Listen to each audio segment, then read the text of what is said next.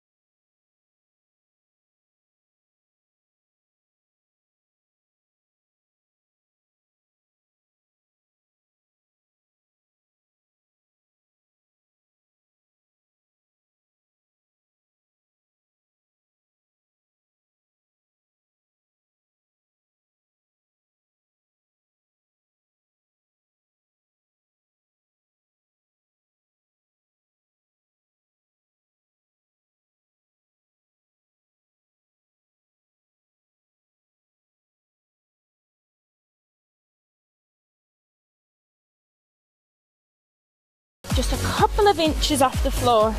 It's not about getting that leg high off the floor.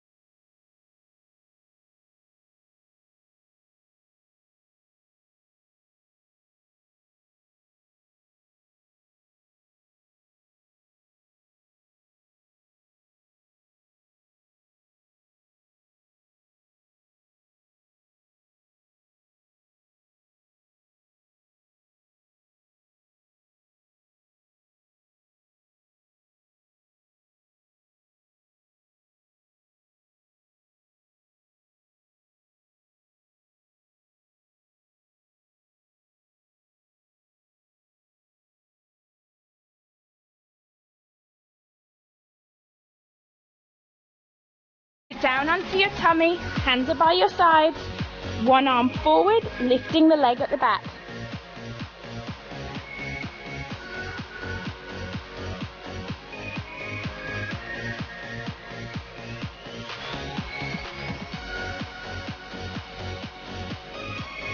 Come up into the seated position, working the obliques, hands to the center, twist over to one side and over to the other.